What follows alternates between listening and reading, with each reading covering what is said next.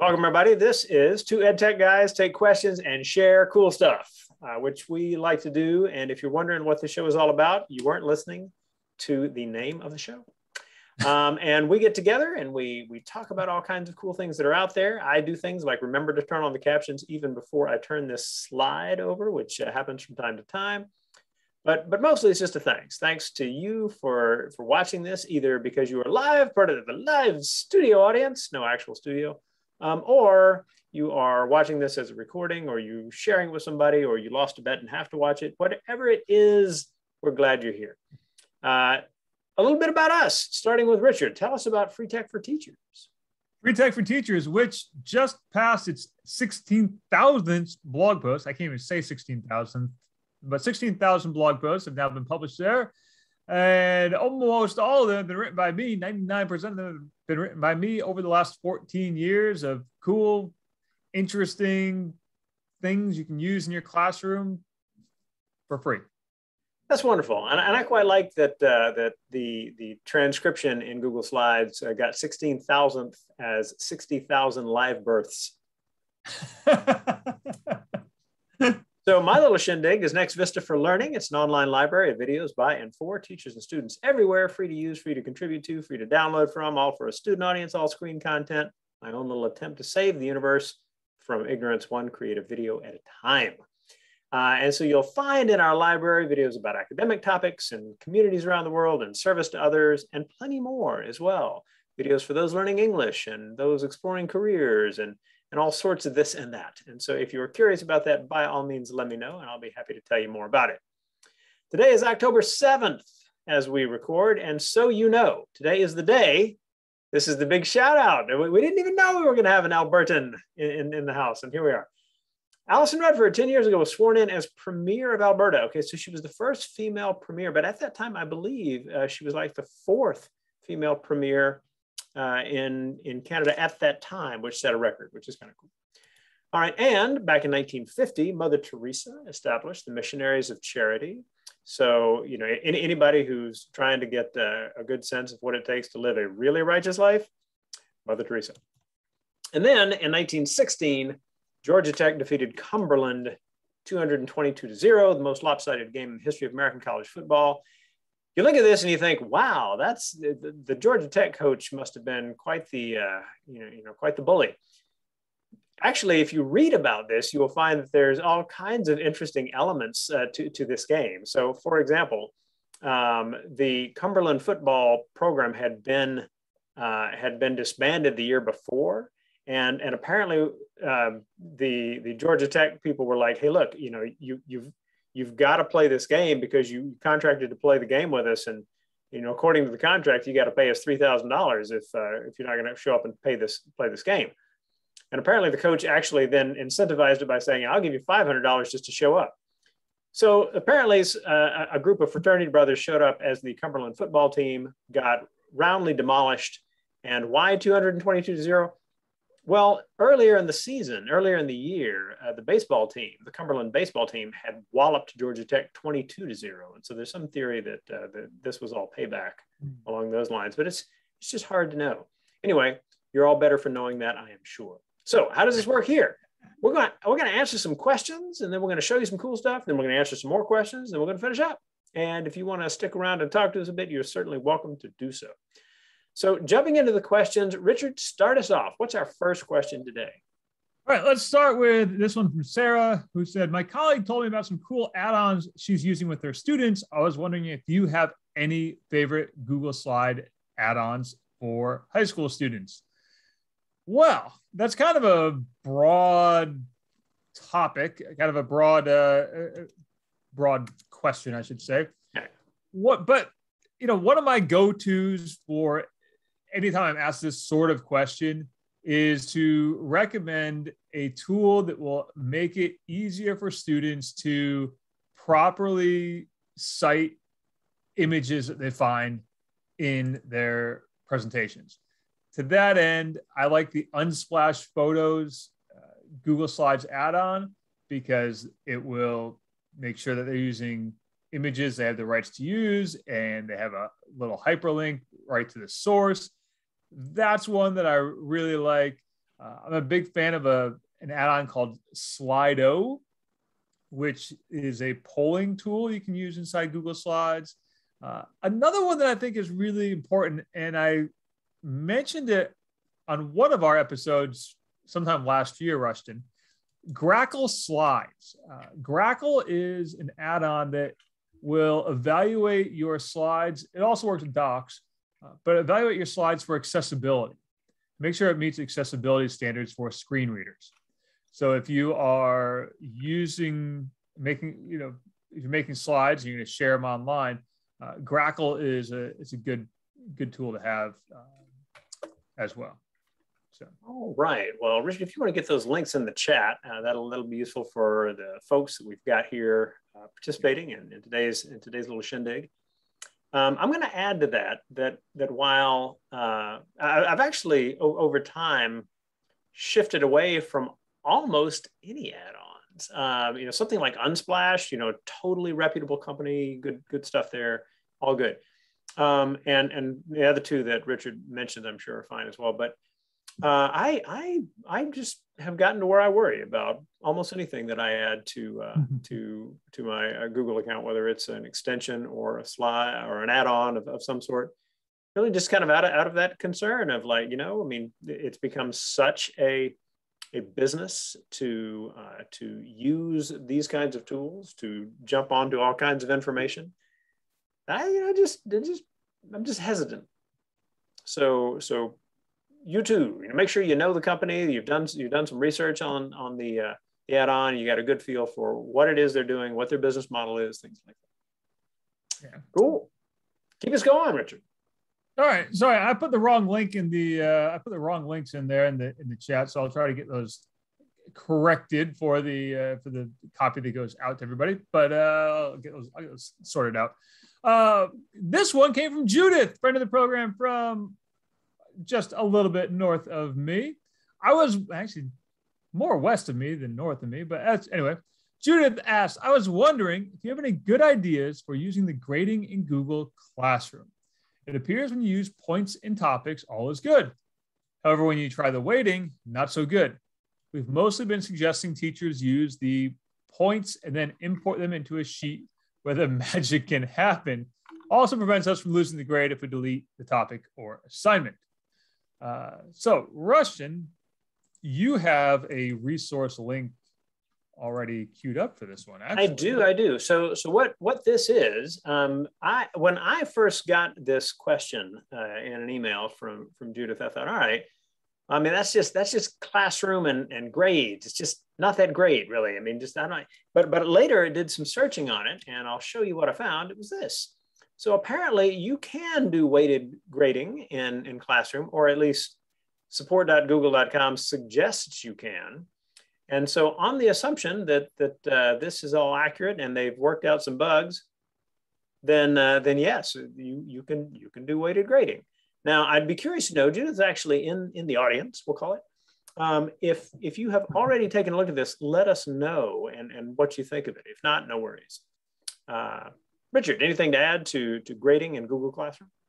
Um, I will say this that unless, and this is coming from my own practical experience over the last couple of years, unless I am in a Google Workspace or G Suite for Education domain that has importing into our SIS, our student information system, I don't mess around with the grade book in Google Classroom at all, other than, yep, they turned it in. Nope, they didn't turn it in.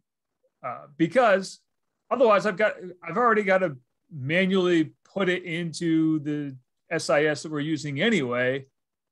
So I just let whatever student information system, whatever grade book system that we're compelled to use, I just do it all there. And I don't worry about the Google Classroom grade book because it doesn't, you know, unless unless again, unless you're in a school that has the um, infinite campus um, import option, and most schools don't have that set up right now that I that I that I've been around. Uh, I, I should say I should say most. In my experience, most that I've been around don't have that set up. That said, more and more are doing it. Um, yeah.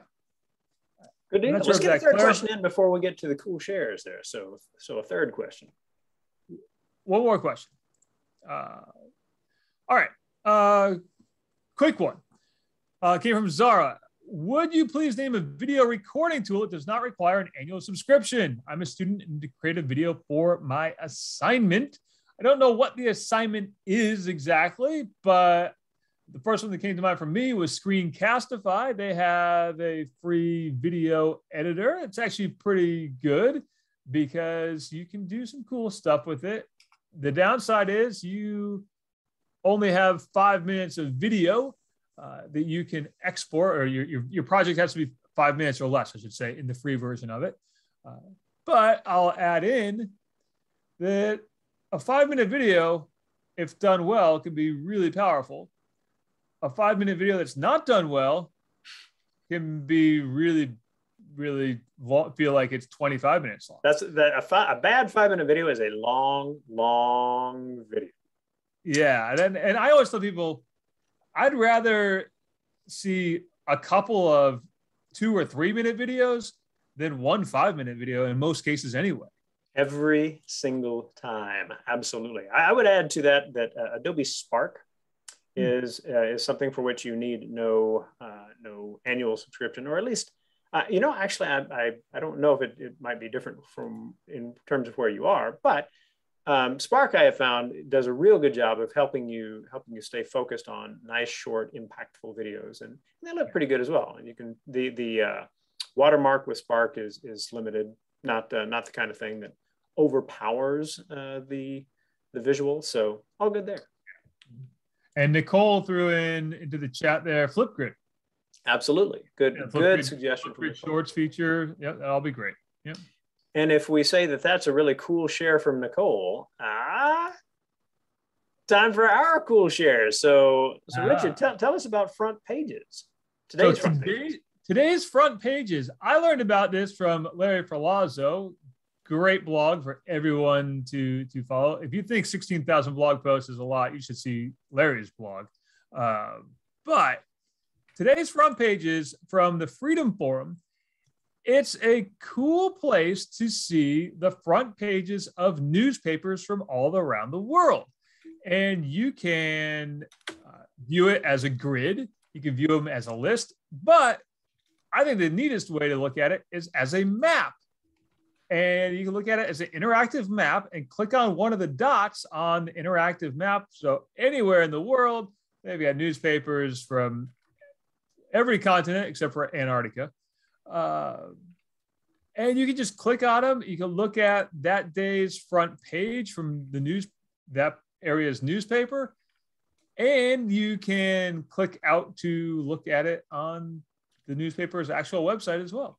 So I think it's great because I could say to my, let's say my, my social studies students, my current event students, hey, this is a trending news story. I want all of you to find how it's reported in a different country, right?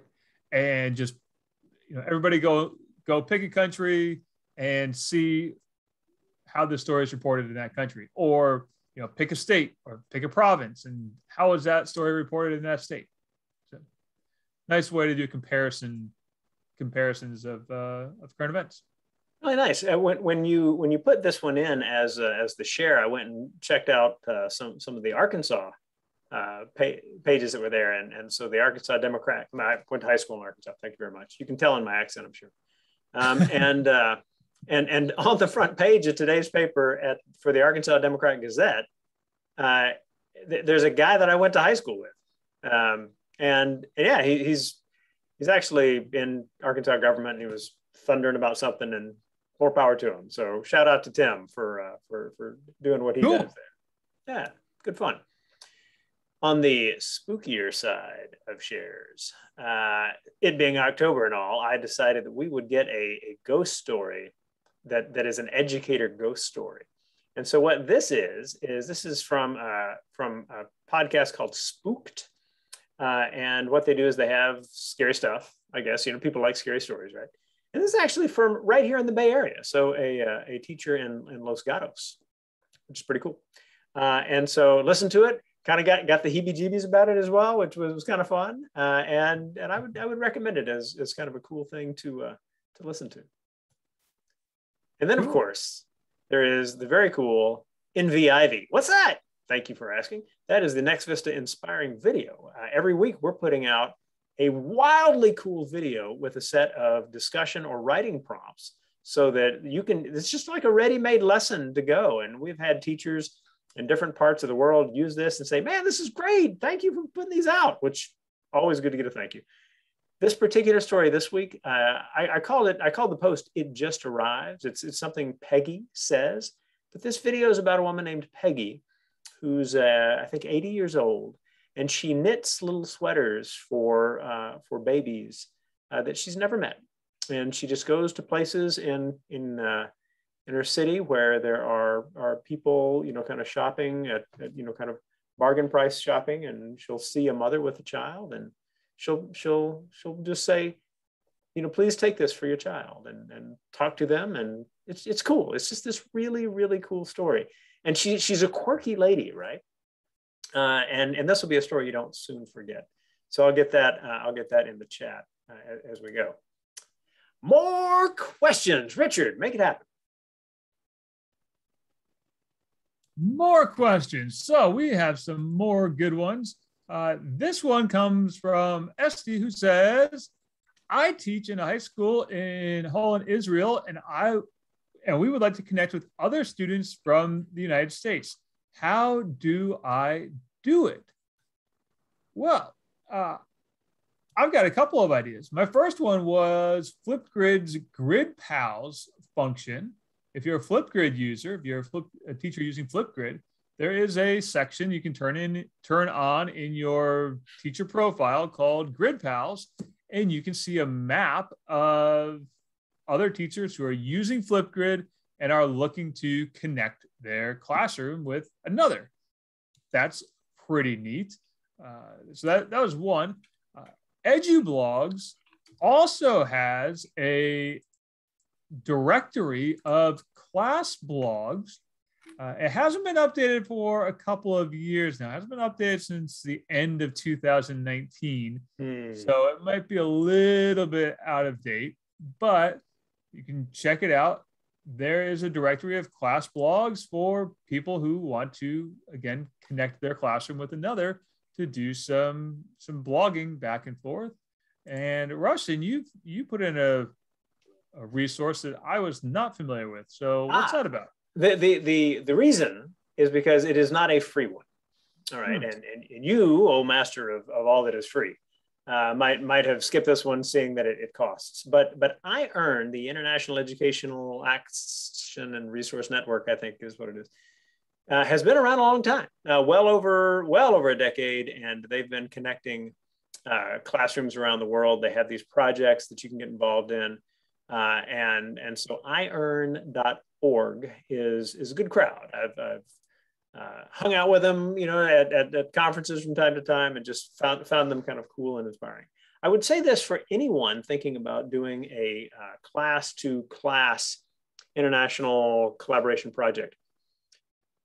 There's loads of advice I could inflict on you, but the one big one is that try to have two adults on each side of the environment of, of the arrangement, right? Because because life just happens. And sometimes you know somebody like there something will happen in their family and they get kind of pulled away. And you know the other class is like what happened? You know we, we, we haven't heard from these people. Did we insult somebody? What happened? And so have a second adult who can be like no actually the person we're going to have to put things you know on hold for a few weeks or whatever. That's just a really good move. Uh, so if, if, you've got you know at least two people on either side who are exchanging ideas and, and can uh, and can just kind of keep in touch with each other that that can be a real good move Cool. Keep us going, Richard. All right. Next one came from, oh, sorry. This one came from Beth, who asked I looked through your list of suggestions for public domain pictures. I've tried Pixabay before, but I'm hesitant to try it out in my classroom because of some pictures I found. Is there a way to filter the images? So, uh, yes, the, the short answer is yes, you can do some filtering in Pixabay. However, it's done on an account by account basis. So your students would have to create a Pixabay account, which they can do with a Google account, and then go in and set strict filtering. So that's not a really great solution. And that's uh, low percentage there, I think we call Yeah, it. yeah, that's not really a great. Well, you know, you could also, you know, fingers crossed that your your school network blocks it, but that's not a really great option either. Um, so there are some other choices out there that are great. Uh, Unsplash, if you're looking for so Pixabay, I've always liked because it has photos as well as illustrations. Unsplash is great if you're looking for just photographs, just pure photographs. Unsplash is a good option as well. Um, and Rushton, you had a you had one that you liked as well. Yep, just toss the link in the chat as well. Photosforclass.com. In, interesting, interesting uh, tool. Uh, what it does is it it'll get you photos that that have been that have been screened, uh, and and I believe that that's also the tool where when, when you download the picture, you can you can download it with the site with the extended remix version of the citation attached like to the image. So right. so it's part of the the image as you go. Yeah. So pretty pretty good one there. Yeah. I'll also say, you know, depending on the type of depending on the topic, I, I guess you're, you're, you're, trying to address with your pictures, uh, Wikipedia and the Wikimedia Commons are Absolutely. good places to find uh, images that are in the public domain or a Creative Commons license. Uh, you know, particularly anything that's a historical topic, good places to go and find representative images are, are Wikipedia and the Wikimedia Commons. Absolutely. So we got, let's see, I think we can probably get another question or two in. Judith added one to the chat. Does anyone have any good resources to help high school students focus? I'm finding that the attention span needs a little help. Yeah, I do. Imagine. Uh, I've got a Chrome extension that I like called Stay Focused.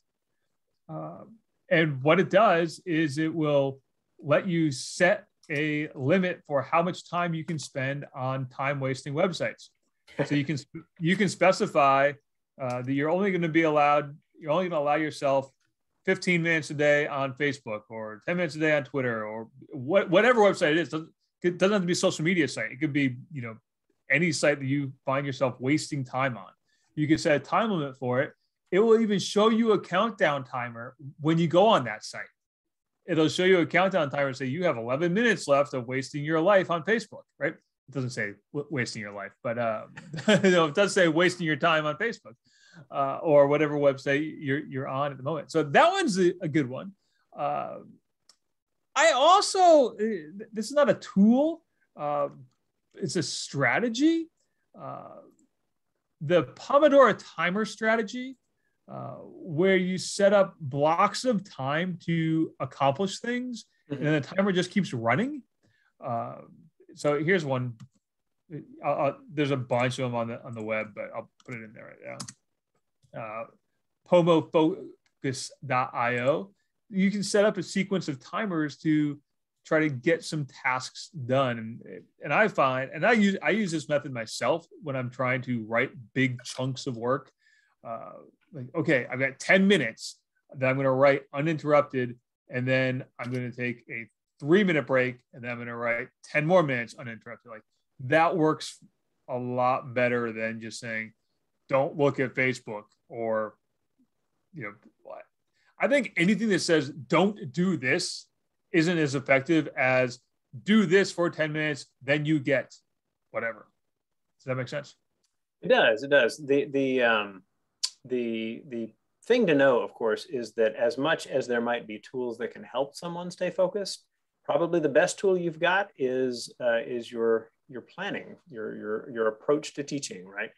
And so, you know, from one class to the next, one group might be able to handle eight to 10 minutes of, of lecture just fine. The next one, two minutes is pushing it. Uh, and so you have, you have to just kind of strategize like what, what, what is, what is the, the more active approach to doing this? You know, how, how can I, how can I get kids talking about these things? If they can't stay on task with that, then, you know, what, what's causing that? Can somebody else kind of help me with those ideas?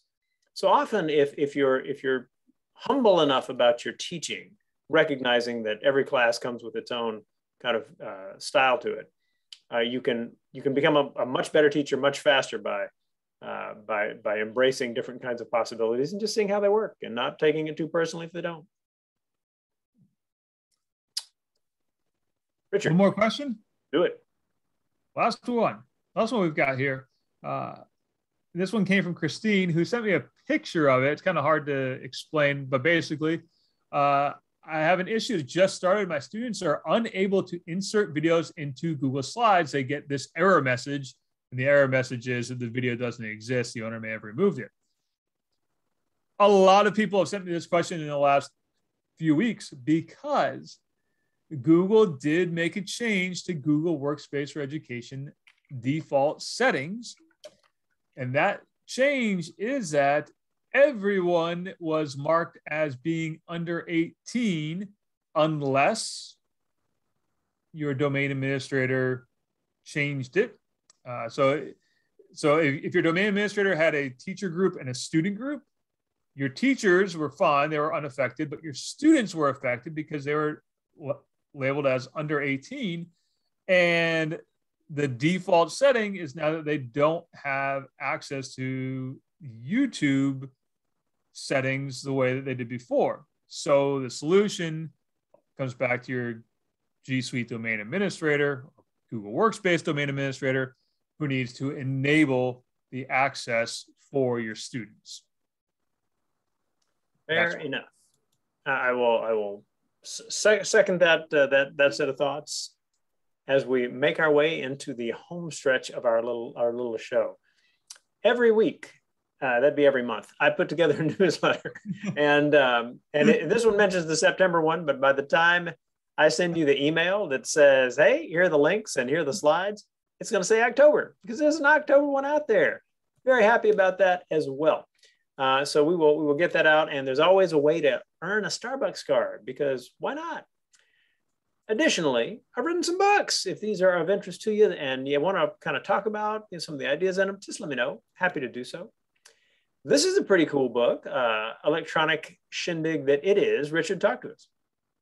Yeah, the Practical EdTech Handbook has 75 pages of my favorite EdTech tools, tips, tricks, strategies.